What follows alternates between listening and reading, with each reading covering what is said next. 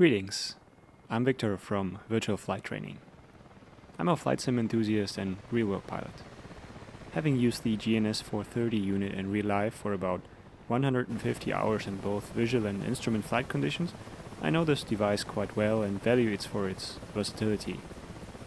It can be a simple moving map or a real sophisticated flight management computer, if you like. I was really happy to see it simulated in DCS World and there are already a few videos and in-game tutorials for this unit. Also, if you search for GNS 430 on YouTube, you will find tons of great instruction footage on the real-world counterpart. However, I'd like to introduce you to my way of setting up the moving map page for efficient use. So what you'll always want during flight is track up instead of north up orientation. It makes navigation so much easier helps you create your mental picture of the area and increase your situational awareness. Press Menu. Select Set Up Map. North Up is selected presently. Press Enter to change that. Track Up is selected now. Press the clear key to exit the menu. Voila. Now the next step will add data fields to your moving map.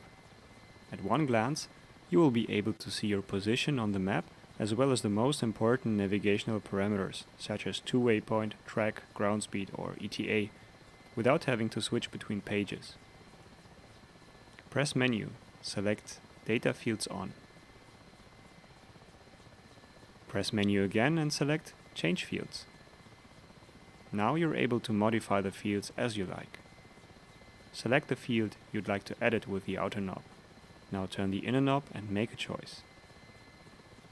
Try waypoint, desired track, track and ETA for example. This is my personal setup when flying the Mi-8. It's always good to see the to waypoint at one glance. Desired track, also called course sometimes, obviously is your main navigational information. The DISS 15 Doppler system gives me a good ground speed readout in kph. The track however can be a bit hard to read, so I have that one displayed on the NS430 as well. Finally, the ETA, the estimated time of arrival, is a great tool when it comes to complex missions that require precise timing. One important notice for the mission creators. Assign proper names to your waypoints, as those will be displayed on the GPS unit.